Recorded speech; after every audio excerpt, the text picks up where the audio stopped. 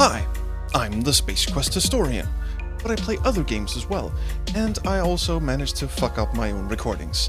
As uh, those of you who have watched episode 3 of my uh, scintillating playthrough of Will O'Neill's uh, Actual Sunlight have noticed, uh, the episode cuts out after about 18 minutes, and uh, which is just around when shit's about to get really interesting. So, uh, kind of disheartened, I uh, realized that uh, my original files were unsalvageable because I usually delete episodes that I have recorded to make way for new recordings, and uh, so I actually had to, um, you know, play all the way up to the point where shit gets shit gets interesting, and uh, so I decided to just, you know, play the bit that you may have missed or actually did miss. So uh, let's just find out what happens after years go by. Dramatic music kicks in, and the fucking alarm clock goes off. You know, I was so mad when this thing uh, didn't uh, work the way I expected it to, and I was completely. I mean, I finished the game today, and uh, once uh, you know shit went down, and I went to my YouTube channel and discovered that one of the videos was very, very much, very too short. Verily, I just absolutely had a shit fit, which is uh, quite. Uh, you know, I suppose kind of, kind of, um, um, um, oh god, I'm so mad I can't even form a fucking sentence. It's actually kind of appropriate. Appropriate was the word I was looking for. It's actually quite appropriate because uh, this is the part where uh, our dear pal uh, Evan here completely loses his shit. So let's lose our shit together with him. He's so hungover. Oh god, I can't take this anymore. Dude, I know exactly how you feel. Can't take any of it. The same stupid shit. This fucking alarm clock. Yeah, get that fucking alarm clock. Fucking hate this shit. Destroy everything in the apartment. Now there's an objective I can get behind. Right, let's walk around, waste the fucking time, waste my fucking life. Let's get that oversized fucking thing, kick the screen in, good riddance. What's on the nightstand?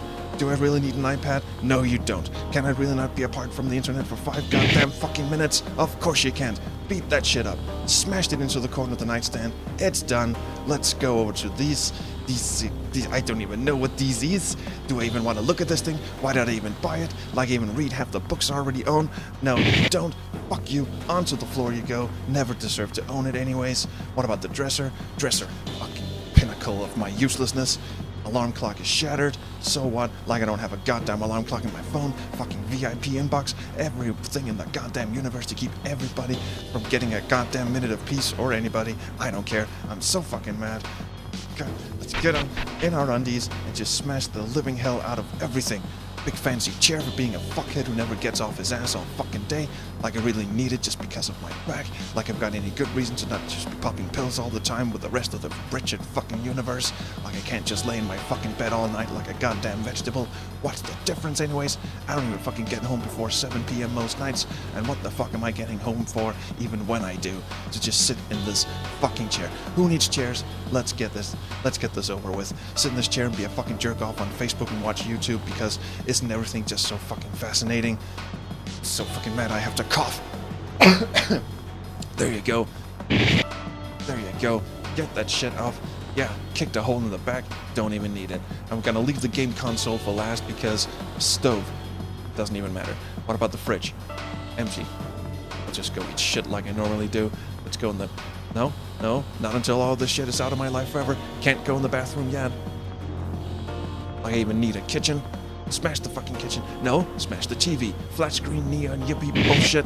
Off you go. Neon, yuppie. Neo, yuppie, bullshit. And here's the game console. Bane of our existence. Fucking. All you have to do is destroy everything. Good. Let's get this out of the system. By Evan Winter. You know, the problem with you the problem with you is not that you're a gutless, craven pussy who can't get off your ass. No, your problem is that you have too much stuff. Consumer electronics are your problem. The internet is your problem. All these unbelievably entertaining things, and you're just hopelessly addicted to all of them. That's why you need to cancel your home internet, cancel your high definition cable, rip apart your $2,000 gaming PC, throw it in the garbage, and leave yourself with nothing but a bunch of crappy, outdated console systems because you want to be a different person. Month later, you'll be sitting in your blanked out apartment with nothing to do, and you'll finally say to yourself, It's time to get out there in the world. I want to meet strangers in cafes. I want to join a kickball league. Just oddly specific, actually. But not long after this, you will find yourself playing those crappy, outdated consoles every night and punching yourself for wrecking your own shit. Just because you want to be a different person doesn't mean you will be able to become one. Never mind, off you go. Fuck you. Fuck you, indeed! Exclamation mark times three. There we go. It's all smashed open, parts everywhere. Oh my god, that felt so good. This is like, this is catharsis. Now let's go take a massive rage dump. Alcoholic Vomit is Coolness Leaving the Body by Evan Winter. A lot of fat people think they're hot shit because they drink a lot.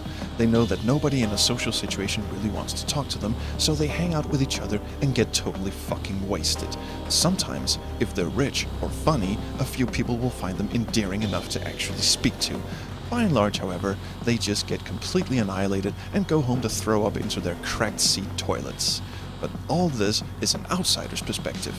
The real reason fat people drink is because it actually makes them feel confident. And confidence, to a 300 pound piece of human shit, is all they ever wanted. You feel levitation. Ooh, I can fly. Carelessness. Acceptance. Then, one day, you feel bad enough when you're not drunk that you realize that drinking actually makes you feel the way that regular people feel all the time. Needless to say, this is when you know it's time to mature into an older and wiser person and switch to antidepressants, like a good little zombie. Oh god. Oh god. Oh god. Let's have a good long look in the mirror, shall we? No. Okay, maybe not. Now, let's take a shower. Let's curl up in the fetal position and just let the rain drizzle down on our meek blithy existence. Is blithy even a word? I don't care at this point. I'm gonna stop drinking. I'm gonna quit this job. I'm gonna stop everything. It doesn't even do anything. Why don't I care anymore? Why don't I care anymore? Third time's the charm. No. Go to the roof of the building and jump off. That therapist in his head is really, uh, yeah, messing with him. Did we smash the mirror too?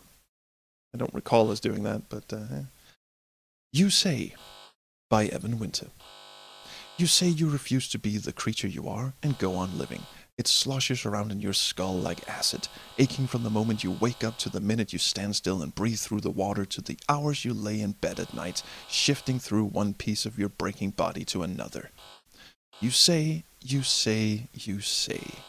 You say you won't go on, not alone, not like this. You say it isn't human, that it isn't safe. You say it is natural to exist in nothing but contemplation of the joy you will never have, however secure you may be for the moment. That too much can be undone by a lost and angry person in a single decision. And holy shit, did we undo stuff. You say you're tired of the pain and sickness that stole your youth, say you've had enough of waiting to see what part of your mind or body collapses next. You say you won't submit to the incomprehensible object that all of it slowly turning you into, a target of awkward silence, false hope, a wedding funeral family asterisk, some car- careerist article by some careerist asshole on how society is in full scale collapse because the government won't pay for your pointless, stupid, unlivable life. If you say so, say you won't suck off this sad and stupid future.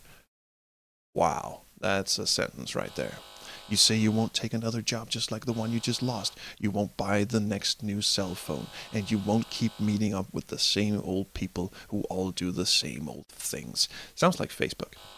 You say you won't do it. You swear to God you won't do it. So go on. Say it. Say it to yourself. Get drunk. Say it to your friends. Say it to someone who you wish you cared about you say it to someone who you wish cared about you and actually believe that it makes you look romantic instead of ridiculous Say it on Twitter and Tumblr until it's all anybody believes about who you are. Say it like the world won't go on without you, or that you have anything to lose but yourself. Say it for the sake of never doing anything until the day comes when everything you said so much about losing is actually lost. Day everything you said would happen actually happens, and the only choice left is either something worse, the grinding years of living through it without the heart or anything, mm, or nothing at all.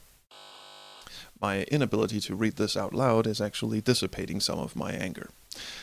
When there's nothing left to say, what will you say instead? You know what? Fuck this. I'm fine. I'm going to work. Enough of this bullshit. I'm just going to be different. I'm just going to be fine being myself, and it's going to be fine. I can find my own way to being somebody better. With all that stuff gone, all I have to do now is do something good, just a day at a time. Someday, this whole part of my life will just be a tiny memory.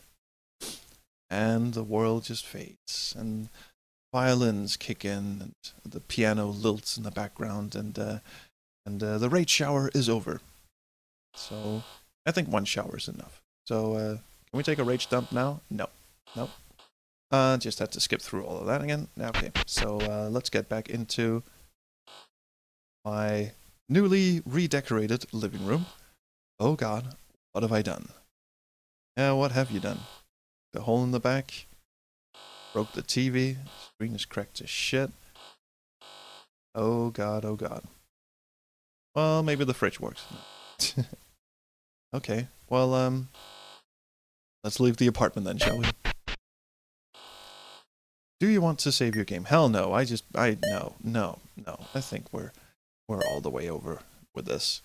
So anyway, that's uh, where we uh, left off in the uh, third episode when it was originally recorded, and uh, now it's time to uh, go to work. And uh, what you should do now is just pretend that this was the end of episode three, and get on with your merry lives and watch episode four, where things finally come to a beautiful, life affirming crescendo. So, uh, thank you for watching. I do apologize for uh, somehow fucking up my own uh, Let's Play, but uh, anyway, I hope this uh, patches up the little bits that you, that you missed. Please uh, like and subscribe, whatever you kids do, but do leave me a comment. And if that comment is about what a talentless hack I am, then um, you could possibly be right. Anyway, I will see you next time, next week, for an entirely different game. Please do have fun and enjoy episode 4 if you haven't watched it already. So, um, take care, guys.